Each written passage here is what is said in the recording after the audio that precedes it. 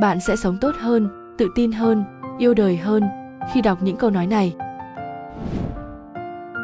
bạn đừng bao giờ ghét những người hay đố kỵ với bạn. Hãy kính trọng những sự đố kỵ đó, vì những người ấy chính là những người nghĩ rằng bạn giỏi hơn họ. Có sáu thứ không nên. Không nên đói mới ăn, không nên khát mới uống, không nên buồn ngủ mới ngủ, không nên mệt mới nghỉ, không nên bệnh mới đi khám, không nên già rồi mới hối hận.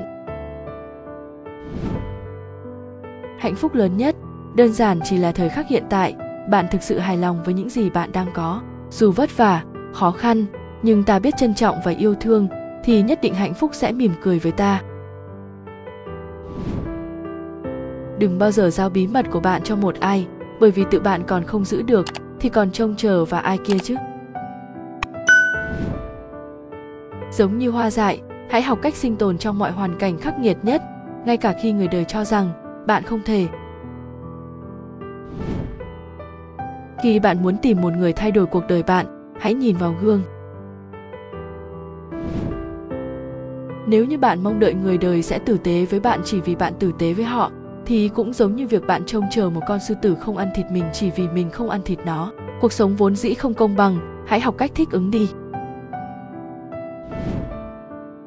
Đại dương mênh mông sẽ không thể đánh chìm một con tàu nếu nước không vào bên trong nó, cũng tương tự như thế những khó khăn sẽ không thể quật ngã bạn nếu bạn không cho phép chúng làm thế.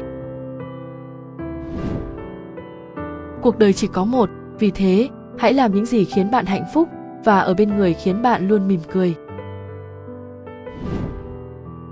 Nếu kẻ khác nói xấu bạn, phán xét bạn, mặc dù họ không biết gì về bạn, đừng buồn, hãy nhớ kỹ một điều, chó sủa khi gặp người lạ. Thành công không phải đích đến cuối cùng, thất bại cũng chẳng phải vực sâu thẳm, đó chỉ là động lực để bạn vững vàng hơn trên con đường sắp bước. Không quan trọng bạn phạm bao nhiêu sai lầm, không quan trọng bạn biết đi chậm chạp đến đâu, bạn vẫn chiến thắng những kẻ không bao giờ biết đến hai từ, cố gắng.